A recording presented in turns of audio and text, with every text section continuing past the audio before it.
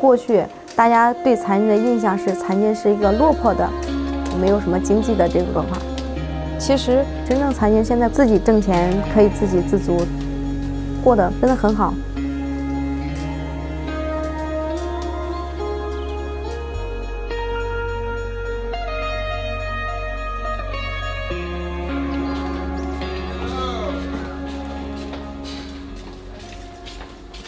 原来你 PS 实现不了的，可以用 AI 实现。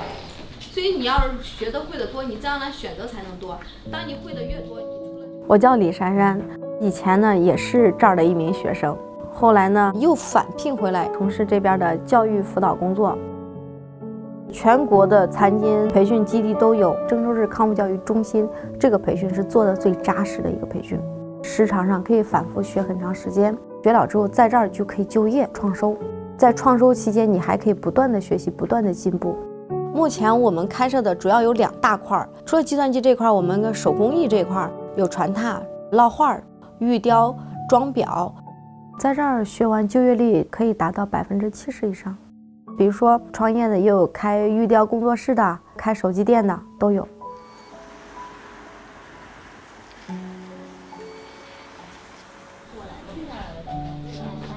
我跟你说，今天是报名，今天是今天是报名，明天开始供餐。很多残疾还是愿意出来工作的，但是残疾找工作非常难。我来这儿学，也学点东西，也认识点人。那你之前有找过别的工作吗？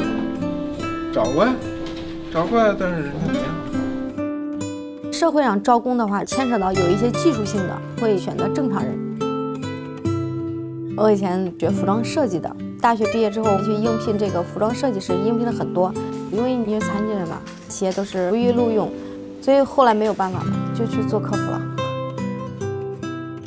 郑州市百分之九十的传呼台都走过了，都不要。后来我找了最后一家，当时我先给他打电话，我说我是郑州市残联的，我说你有没有按比例安排残疾人？说完之后，对方说啥，我当时吓得都不记得了。然后到下午的时候，我再给他打电话，我说你看，呃，我是个残疾人，想来你这儿应聘，看行不行？他说你下午过来面试吧，这样才可以。得来第一份工作，我是花了很大心思的。其实还是残疾人不够强大，所以才去祈求别人给你一份工作。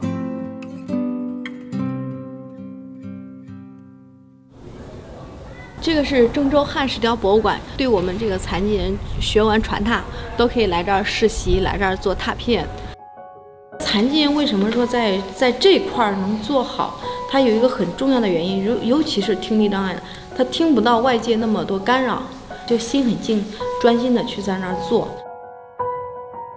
残疾人他虽然身体残疾了，但是残疾人的智慧还在。如果你培训出来还是那技能很低的，很容易被人替代的，你还是很难去就业。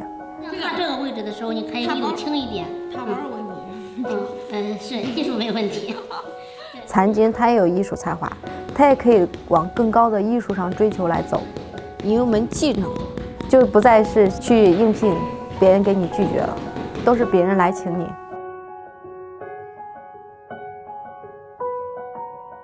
喊开始。一二三，开始！加油，加油！来这儿之后，你就像坐上了一列快车，可以把很多人送到你该走的轨道上。我们不光展现生活自强的一面，而是我们在每一个行业里面发挥我们聪明才智，做到真正的技术上的大师。